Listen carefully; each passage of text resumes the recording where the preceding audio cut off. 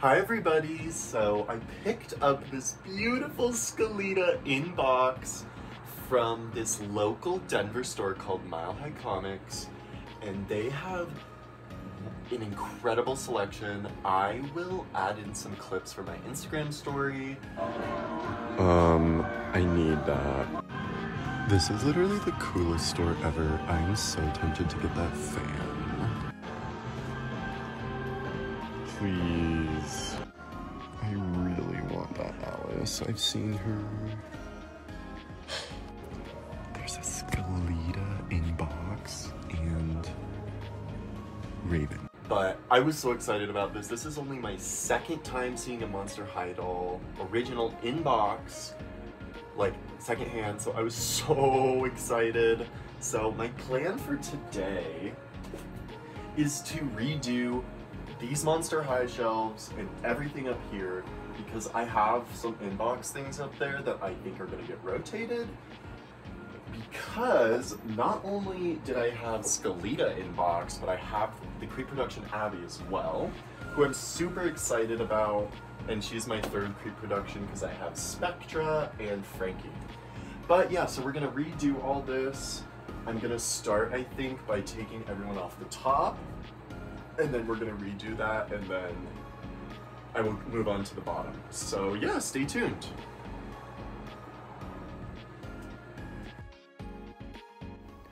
And I did want to share as well the price of Skelita was $80, which we know is overpriced for a doll, but for a doll that's 10 years old and relative to the prices that she is in box on eBay and Mercari, I was very content with that.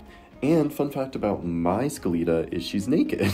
I don't have her stuff, so this is super fun to have one that's naked because I really like the skeleton body, and then one that's in box.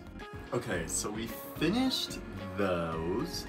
And so I did add Honey in here, who wasn't up there before because I was able to fit one more character. But yeah, so Abbey and Skelita are back there and you can't really see them, but it's okay. I know they're there, so, and they are on display to me. And then we put the two Bratz babies I have and then my Little People sets.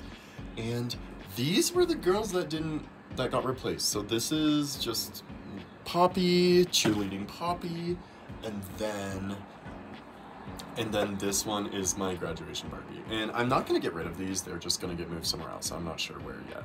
But yeah, now I'm gonna do these two shelves. So yeah.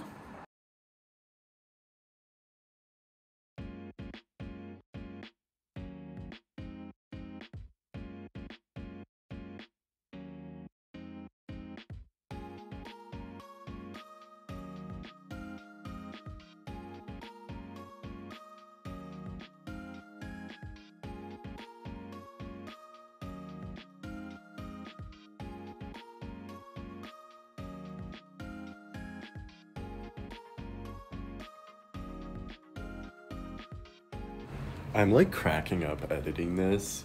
Party time in the doll room. I have no idea why my camera is making it look like my lights are glitching, but it's really funny. Party time.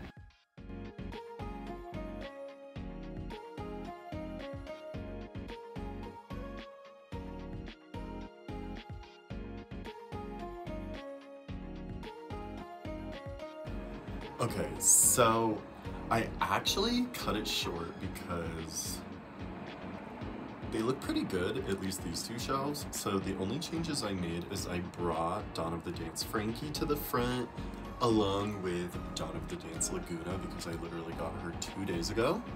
And sadly, I was having some like issues on Instagram and I had her reel already and then it was scheduled and it just got deleted because Instagram crashed.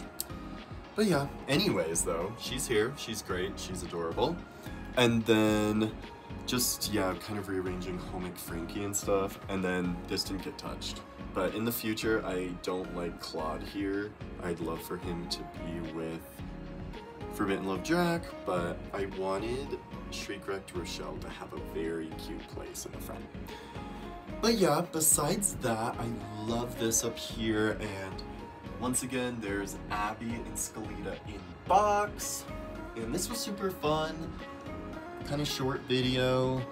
And I hope that you all can check out some like antique malls near you or just consignment shops that might have dolls or comic book stores. Just always go give them a chance because you never know if they're gonna have a gem. But yeah, thank you guys so much for watching. I'll see y'all later.